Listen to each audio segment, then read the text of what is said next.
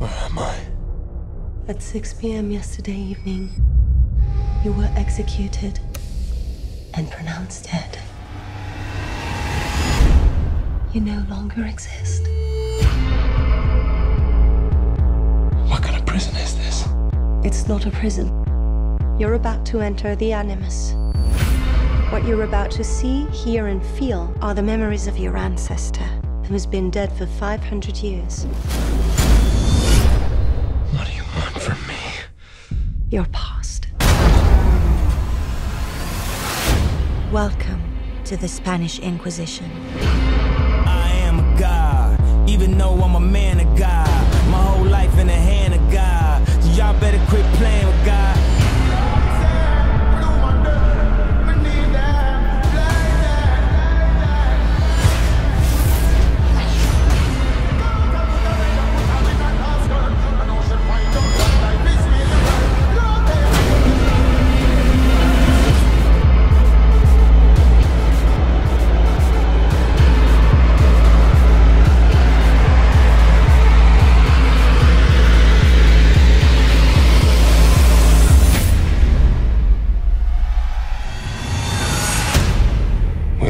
Dark to serve the light.